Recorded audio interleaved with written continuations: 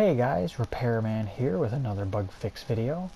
And if you guys haven't heard already, TU21 is out and it's supposed to have more fixes and in their little release notes says more redstone fixes.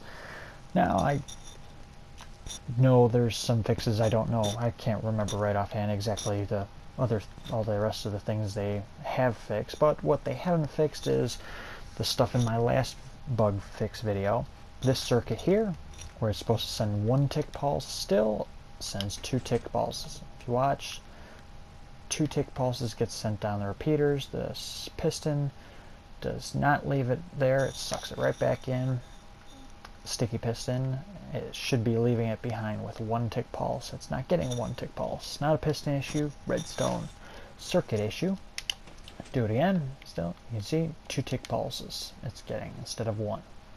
So something's wrong with the circuit in there. Now also, if you have pistons that are moving redstone blocks, you're going to have issues because no longer do they work properly. I tried with repeaters going into them, redstone going into them, because if you have repeater going right into it, powers the block, turns that block itself into power. But in this one, we turn the block below it into power. Still gets power that way, but it's just a different way of getting it. Same, essentially the same thing with, uh, or very similar thing with uh, the redstone going up to it.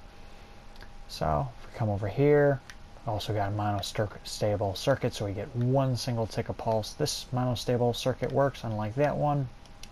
But here we go. Press the button, one tick pulse, go up, and you see a weird animation where they go up and come back down, but they stay up, even though you see that weird animation of them coming down. So it's probably a piston issue not a redstone issue, seeing as how you do get one tick pulse in this circuit.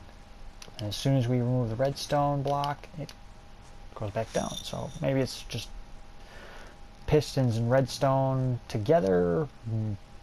But either way, it's a problem. Here it is again. Show you. Watch them. They'll go up and it stay up, but uh, also you'll see an animation of them coming back down. See that? Pretty weird. So hopefully fix both of these bugs. I know a number of my builds are going to be affected by this and they have tons of problems. So hopefully we get this worked on. They said the next one is a feature update, but I'm hoping for TU20 being another bug update, uh, bug fix, because this is definitely being a very big problem for me. Fix the stuff, then come out with more features. That's my theory, but, eh, well, hopefully this has been educational. Hopefully uh, 4J and 4J Steve, hopefully they watch this and uh, fix these, or at least attempt to fix these. If you guys want uh, a little more details or break it down a little bit more, anybody has any questions, post in the comments below.